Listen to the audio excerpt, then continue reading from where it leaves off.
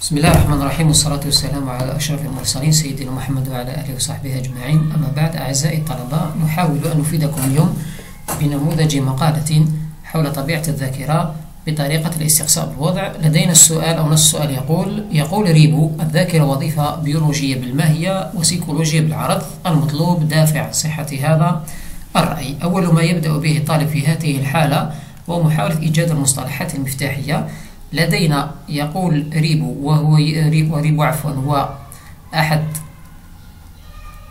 أنصار النظرية المادية. أين؟ في الذاكرة. ثم لدينا مصطلح الذاكرة التي تعني وظيفة نفسية. تتمثل باستجابة حالة شعورية ماضية مع وعي وإدراك الذات من حيث هي كذلك.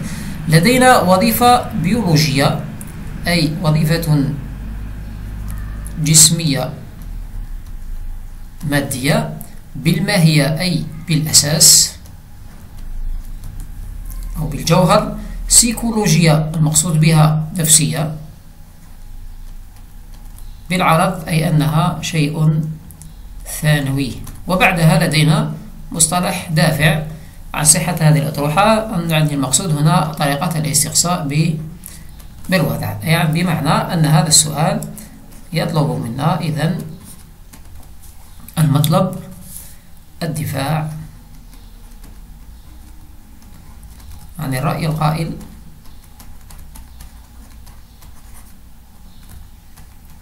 أن الذاكرة وظيفة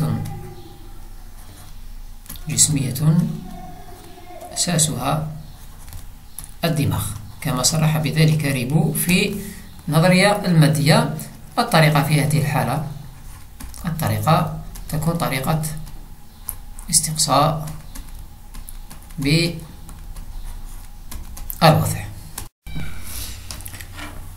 وكالعادة نشرع في تحليل المقال بداية بالمقدمة وما تجدر الإشارة له أن مقدمة الطريقة طريقة الاستقصاء بالوضع تشبه إلى حد ما طريقة الاستقصاء أو طريقة عفوا الطريقة الجدلية من خلال خطواتها المعروف خطواتها الثلاث الخطوة الأولى المتمثلة في الإحاطة بالموضوع. المقصود هنا مقدمة المقدمة. ثم الإبراز العناد الفلسفي مع التركيز أو الإشارة إلى الرأي المراد الدفاع عنه ثم إعادة إعادة صياغة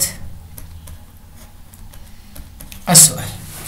وفي حالتنا هذه يمكن للتلميذ أن يبدأ بحط أو كإحاطة الموضوع أو كمقدمة المقدمة بتعريف الذاكرة كأبسط طريقة مثلا. فنقول أن الذاكرة هي وظيفة نفسية تتمثل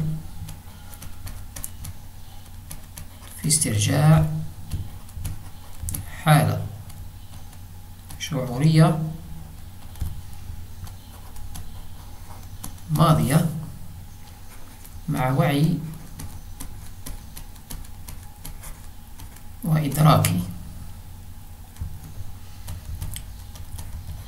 الذاتي لها من حيث هي كذلك أي أنها ماضية.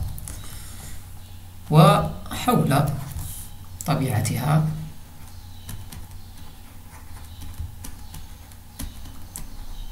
اختلفت آراء الفلاسفة والمفكرين وتضاربت وجهات نظرهم حول طبيعتها أو عفوا حول أساسها لأنه سبق وأن أشرنا إلى الطبيعة في البداية حول أساسها. إذ هناك من يرى بأن الدماغ هو مركز تخزين الذكريات أي أنها مادية جسمية. ثم نطرح السؤال فنقول مثلا فما هي الحجج والبراهين لإثبات هذا الرأي؟ والدفاع عنه.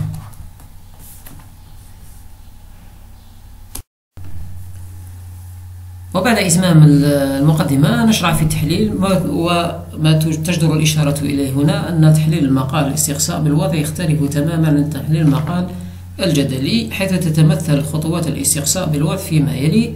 الخطوة الأولى هي عرض منطق الأطروحة ويتضمن موقف الرأي المراد الدفاع عنه. ثم الخطوة الثانية هي إثبات الأطروحة وتضم حجج الرأي المراد الدفاع عنه. وأخيرا نقد خصوم الأطروحة. وتضم سلبيات الرأي النقيض مع الإشارة إلى الموقف وأهم حجة. ثم نشرع في التحليل حيث نقول في عرض منطق الأطروحة يرى بعض الفلاسفة والمفكرين أنصار النظرية المادية وعلى رأسهم ريبو أن الذاكرة وظيفة جسمية مادية حيث أن الذكريات تخزن على مستوى الدماغ فعدد الخلايا مناسب لعدد الذكريات. ثم نشرع في الخطوة الثانية وهي إثبات الأطروحة فنقول ولتبرير موقفهم استند ريبو إلى طب الأعصاب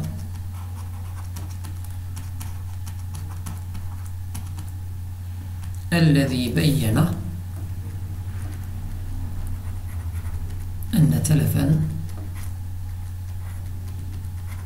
أو نزيفا أو إصابة على مستوى الدماغ تؤدي إلى فقدان عدد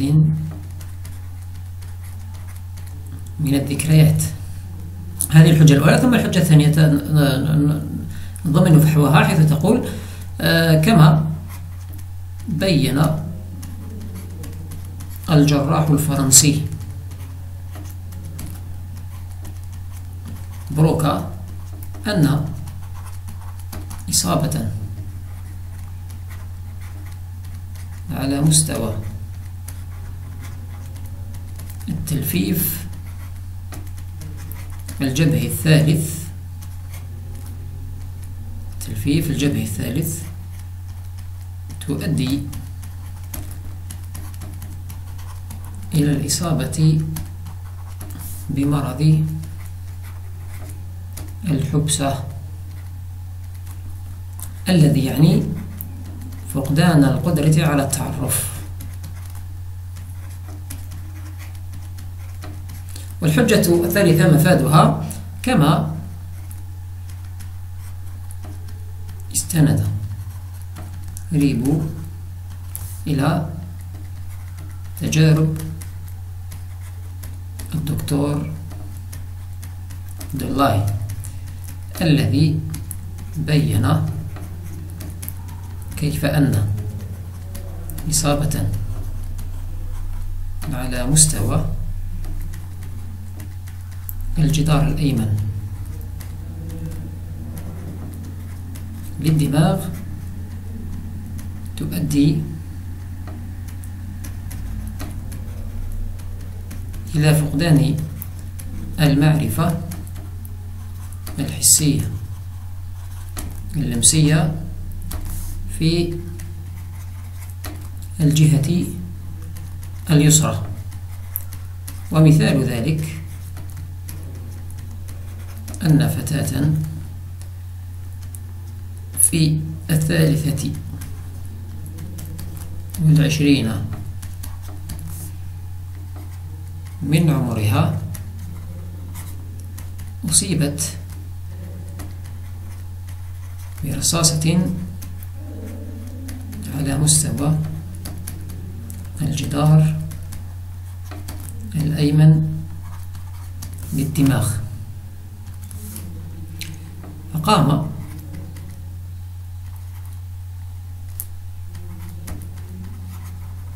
بتعصيب عينيها. ووضع مشطا.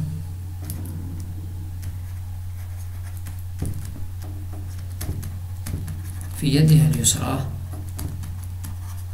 فلم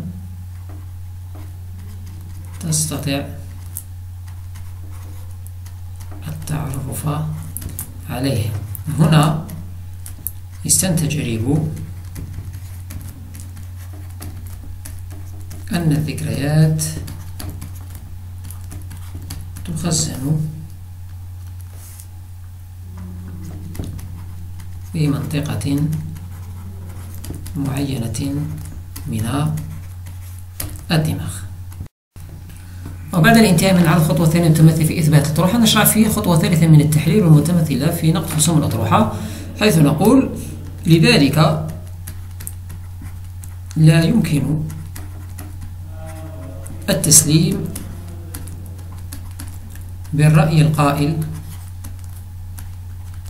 أن الذاكرة وظيفة نفسية فقط.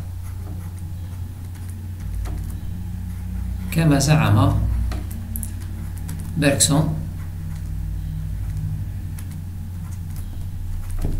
بحجة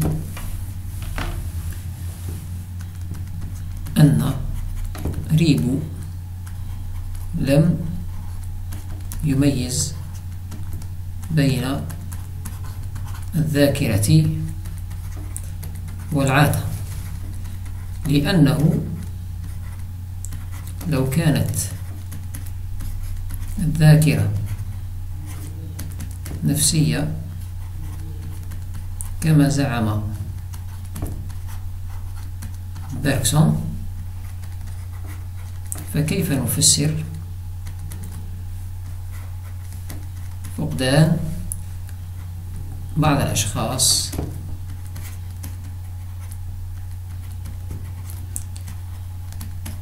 للذكريات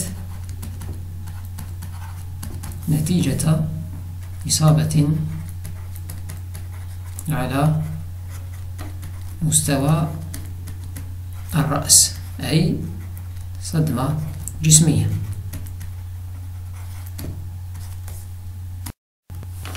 وفي خاتمة المقال الاستقصاء بالوضع نتطرق إلى الخاتمة وفي خاتمة الاستقصاء بالوضع لدينا خلاصة أو خطوتين أساسيتين الخطوة الأولى هي خلاصة والخطوة الثانية هي التأكيد على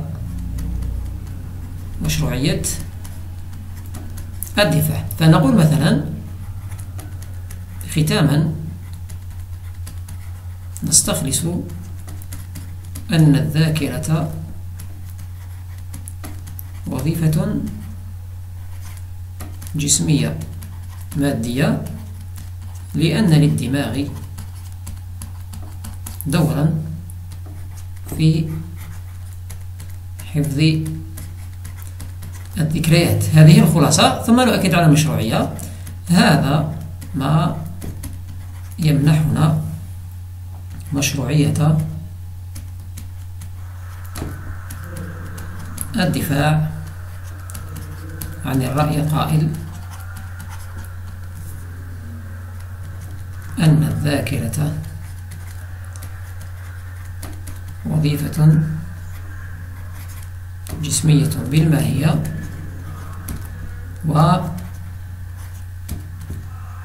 ونفسية بالعرض.